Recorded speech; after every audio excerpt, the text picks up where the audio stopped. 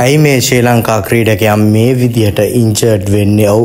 අපි දන්න ඉතින් ශ්‍රී ලංකාව සහ ඉන්දියාව අතර එක්දින තරකාවලිය ආරම්භ වෙන නිමිතයි සිකුරාදා දවසේ තමයි පළවෙනි තරගයේ ක්‍රීඩා කරන්නේ. අපි දන්නවා T20 තරකාවලිය තුනට බිඳුවක් ලෙස ඉන්දියානු කණ්ඩායම ජයග්‍රහණය කරා. ඉතින් තාමත් ලැජ්ජ වෙන්න ඕනි අපි මොකද අවසාන තරගයේ සිද්ධ වෙච්ච දේවල් එක්ක ඉතින් අපි ඒ දේ ගැන කතා කරන්න යන්න. ඉතින් කතා කරොත් එහෙම මේ ශ්‍රී ලංකාවේ ෆාස්ට් බෝලර්ස්ලා 6 දෙනෙක්ම දැන් ඉන්ජර්ඩ් වෙලා තියෙනවා. ඉතින් හිතා ගන්නවත් අමාරුයි.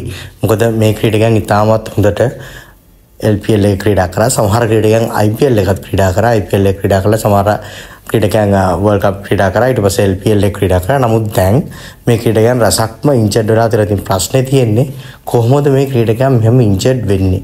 මේ ඉන්ජරි කන්සර්න්ස් ඒක එක ප්‍රශ්නයක්. මොකද මේක අද ඊයේ සිද්ධ වෙච්ච දෙයක් නෙමෙයි. මේක දැන් ටික කාලයක් තිස්සේ එකම ක්‍රීඩකයන් සෙට් එකම ඉන්ජර්ඩ් වෙවි ඉන්ජර්ඩ් වෙවි දින මේ අසාම් අපේ අසමමින් දාපු ට්විට් එකක් එක තමයි මම මේ කියවන්නේ. එතන එයා කියනවා update 6 fast bowlers not available. Dushmantha Chameera 6, Binura Fernando 6, Nuwan Thushara injured, Matheesha Pathirana injured, දීෂා මෝෂංක injured, ලහිරු කුමාර injured. එතකොට මේ ප්‍රධානම මේන්ලි අපි කන්සිඩර් කරන පන්දියෝනන් ටිකක් injured. එතකොට දුස්මන්ත චමීර හැමදාමත් අපි දැන් මන් දන්නේ නැහැ injured වෙනවා, sick වෙනවා. ඉතින් මේවා බින්රුවත් එහෙමයි.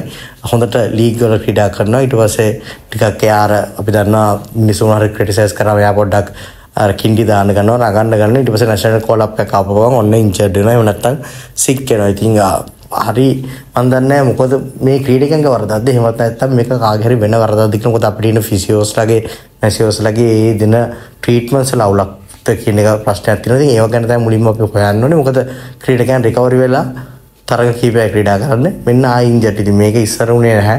අපි දන්නවා චමින්ද වාස්ලා එකපාර පන්දුවර 10ක් වුණා බෝල් ගන්න පුළුවන්. ඒක කරලා තියෙනවා. පන්දුවර 12 දාතන ටෙස්ට් මැච් වල එක දිගට බෝල් කරනවා. ප්‍රවේස් මහරුෆ් පවා පන්දුවර 10ක එක දිගට එක් දින තරගයක දාලා තියෙනවා. ඉතින් මහන්සි වෙලා නැහැ ඒගොල්ලෝ. හැබැයි මේ හිතා ගන්න බැරි ඇයි මේ ක්‍රීඩකයන් මෙහෙම ඉන්ජර්ඩ් වෙන්නේ කියලා. ඉතින් බලන් ඉමු.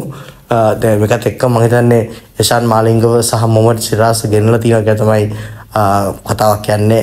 ඉන්ජරි කවසිදර ඉතින් බලන් ඉමු. මොකද ඉස්සරහට වෙන්නේ කියලා.